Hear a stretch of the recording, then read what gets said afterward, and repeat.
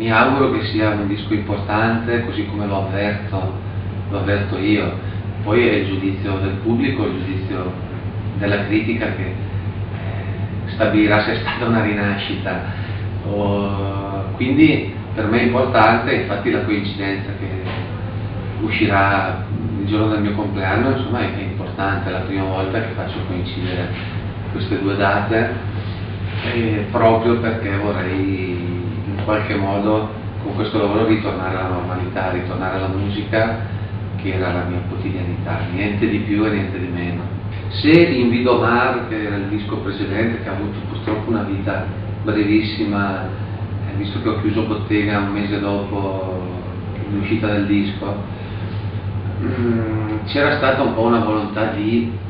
staccarmi completamente dal mio passato, di scollarmi di dosso 15 anni di timoria e purtroppo non c'è la bacchetta magica per farlo. E volevo fare un disco completamente diverso da quello che erano i dischi di timoria, pur mantenendo fede e fedeltà al mio modo di scrivere le canzoni. Avevo quindi cercato, circondandomi di jazzmen importanti, di personaggi quindi eh, che facevano parte un po' di quel mio mondo di, di miti, da studente di jazz. Avere la possibilità di averli con me mi ha fatto fare un disco molto raffinato, molto, se vogliamo, poco rock, quindi in questo senso. Oggi che ho metabolizzato ormai il fatto di non avere più i Timoria con me, ed è stata dura metabolizzarlo, ho potuto fare un disco perché no facendo di nuovo rock, quindi riprendendo la mia chitarra in mano, pensa che in Vidomar non mi era stato possibile suonare nessuna chitarra eh, e per un chitarrista come me era stata comunque una scelta molto estrema eh, accettare di farlo. E qui ho ripreso la mia chitarra, sono andato in studio e stava venendo fuori un album alla Timoria. Quindi intuito questo pericolo ho, ho deciso, di, affidandolo a Cristian Piccinelli che comunque ha come suo immaginario musicale i Depeche Mode, piuttosto che la, i Kraftwerk, piuttosto che Human League o la Dance addirittura, visto che è un produttore di, di questo mondo, eh,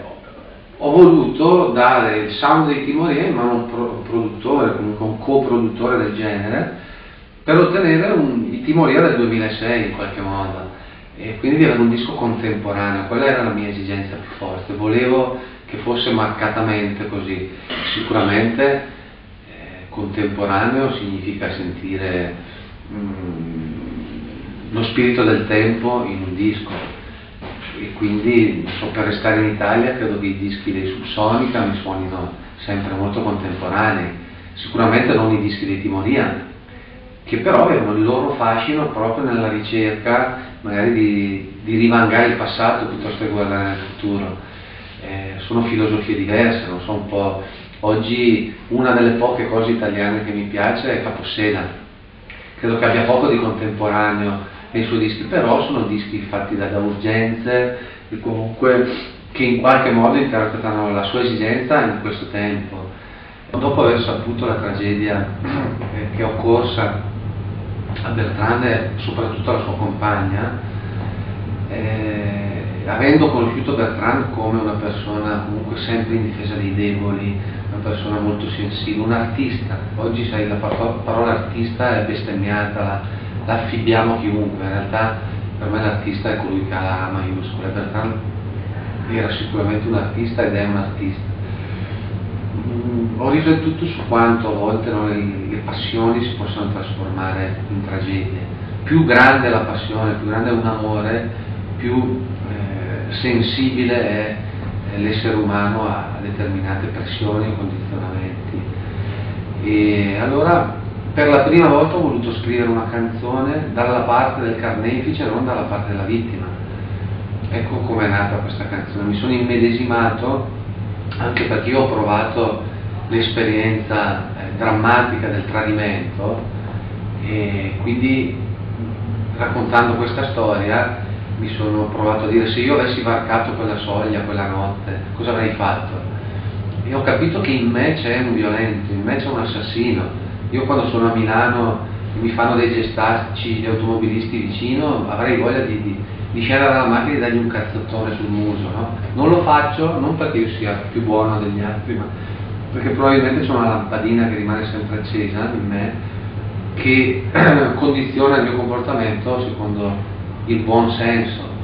Tutto lì, la mia differenza è quella. E dedicarla a Bertrand e a Marie è stato un modo eh, di, di, celebrare il loro amore che ahimè ha avuto un epilogo così triste, così drammatico e anche per lui che, che è stato dipinto come un mostro e che comunque quando ho saputo che ha tentato tre volte il suicidio in carcere avrei voluto dargli una carezza qualche modo, pur non dimenticando che, che la prima vittima è stata lei, ma credo che siamo, siano morti in due quella notte.